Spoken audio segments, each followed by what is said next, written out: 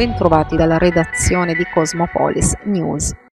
Da oggi meno restrizioni in Italia e più aperture. La curva dei contagi lascia ben sperare con circa due terzi delle province in calo. Super Green Pass con durata illimitata, nuovo sistema per le quarantene dimezzate a 5 giorni per i non vaccinati e per le DAD con gli studenti che torneranno quasi tutti in classe. Stop a mascherina all'aperto in zona bianca da venerdì prossimo. Le discoteche potranno poi riaprire con certificato rafforzato, mascherine ma non in pista e capienza al 50%. Una nuova fase, secondo il coordinatore del Comitato Tecnico Scientifico Franco Locatelli, che avverte va gestita la riapertura con una adeguata progressività. L'ultima misura a cadere sarà probabilmente il certificato verde. Dal 15 febbraio scatterà l'obbligo del Super Green Pass al lavoro per gli ultra cinquantenni. Già dalla prossima settimana qualche regione potrebbe essere invece nuovamente promossa verso profili di rischio rischio più bassi. Le norme potrebbero subire cambiamenti già in primavera. Le percentuali sulla capienza di stadi e discoteche all'aperto, ad esempio, potrebbero essere presto riviste.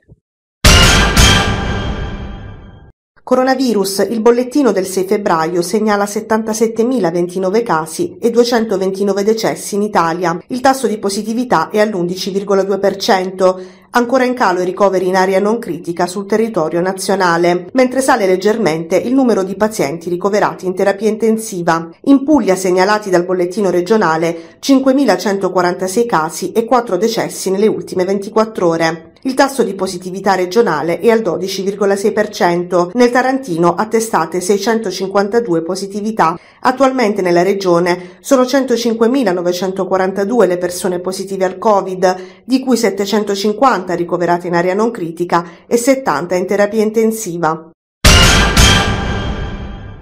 In collaborazione con il personale della Capitaneria di Porto di Taranto, i poliziotti hanno sequestrato 300 kg di cozze in cattivo stato di conservazione. Gli agenti militari hanno controllato un'area posta sotto sequestro circa due anni fa e che versava in uno stato di assoluto abbandono. Insospettiti della mancanza del lucchetto apposto al cancello d'accesso, i poliziotti sono entrati cogliendo sul fatto quattro persone che in condizioni di estrema precarietà igienica erano intenti a sgusciare cozze per poi confezionarle in vaschette di plastica che presumibilmente sarebbero finite in commercio. Tutti i molluschi, compresi anche 5 kg di ricci di mare, sono stati sequestrati e distrutti con il successivo intervento di un compattatore di clima ambiente. I quattro uomini sorpresi nella loro illecita attività sono stati denunciati in stato di libertà per violazione dei sigilli e commercio di sostanze alimentari nocive.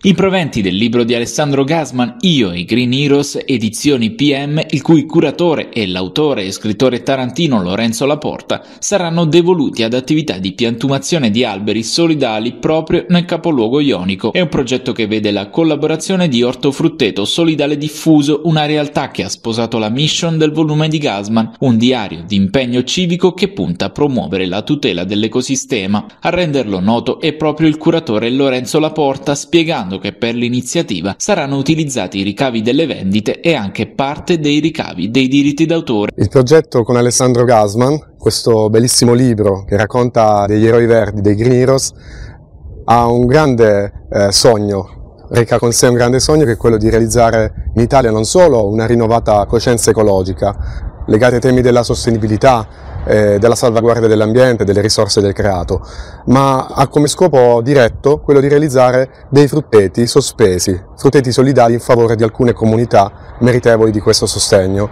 Eh, anche Taranto eh, avrà questo frutteto e quindi sono molto felice e gioioso di poter annunciare eh, questa intesa raggiunta con il grande attore Alessandro Gasman eh, in favore di questa comunità che profuma di bellezza ovunque.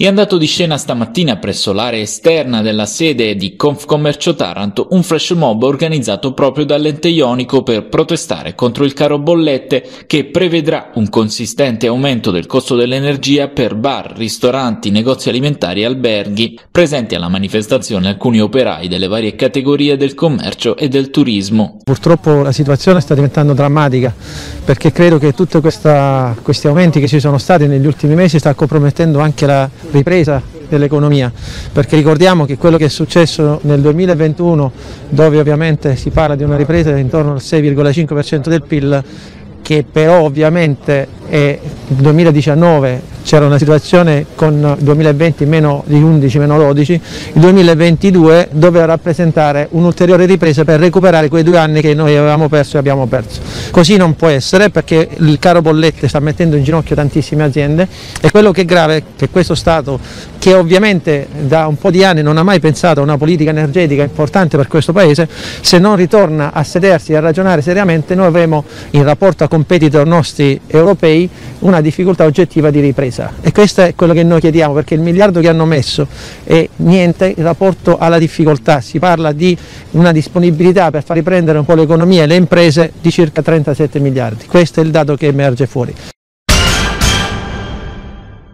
Il Taranto esce meritatamente sconfitto dalla trasferta laziale di Monterosi dove i padroni di casa si sono imposti col risultato di 2-1. La squadra di Mister La Terza approccia bene all'incontro ma il gol di Ekuban, nato da una mezza papera di Chiorra, è lo spartiacque di un match che i rossoblù non riusciranno più a riprendere. Il Monterosi infatti dopo il vantaggio amministra grazie al pressing e a una buona circolazione di palla e solo le mani di Chiorra evitano un passivo più pesante. Nel finale di gara la grossa ingenuità dei Versienti origina il rigore con cui Costantino raddoppia e mette in ghiaccio la partita. Al 95 inutile il gol di Saranitis su incornata da centro area. L'obiettivo adesso è non disunirsi. Nel Saturday Night del 12 febbraio allo Iacovone è atteso un cambio di rotta contro una delle squadre più in forma del campionato, la Virtus Francavilla.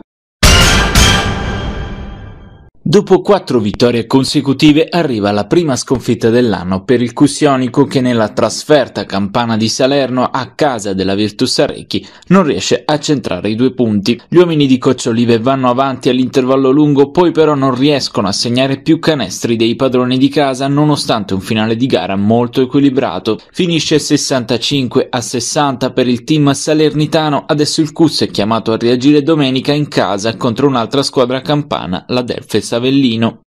Dalla redazione di Cosmopolis News è tutto al prossimo notiziario.